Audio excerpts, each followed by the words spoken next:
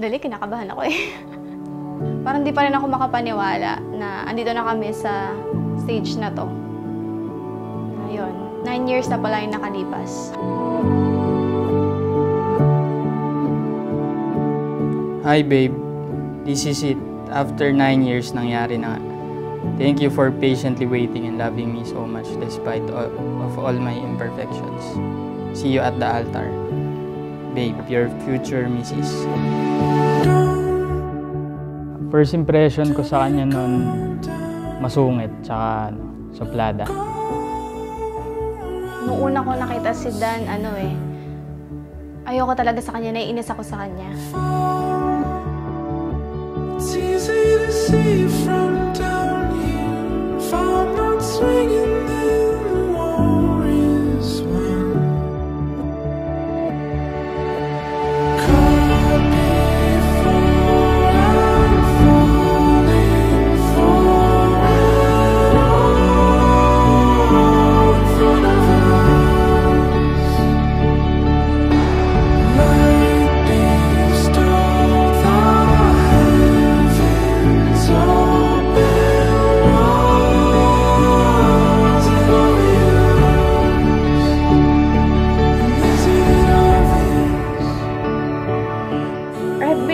for this moment to start our own family and to spend the rest of our lives together.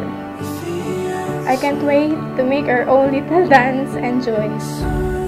I love you.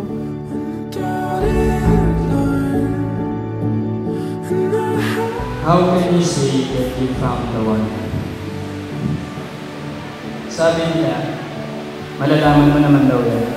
I knew you were the one. The moment I realized I can't live my life without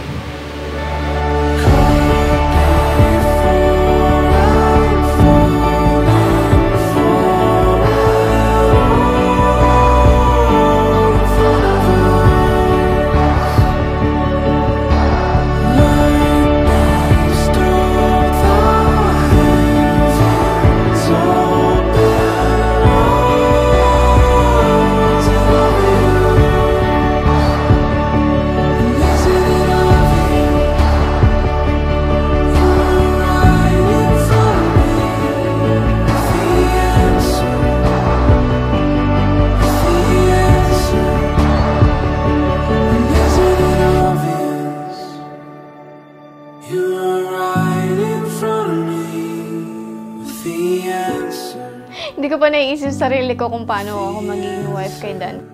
Ano, hindi ko ina-expect si Dan na maiiyak siya doon sa ano, sa simbahan.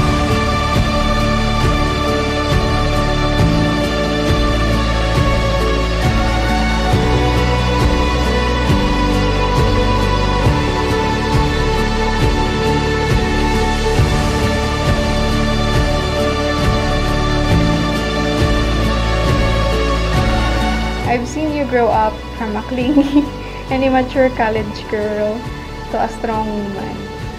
So strong that with just one look, it speaks a thousand words. Despite our struggles and my shortcomings, you chose to stay and I really thank you for that.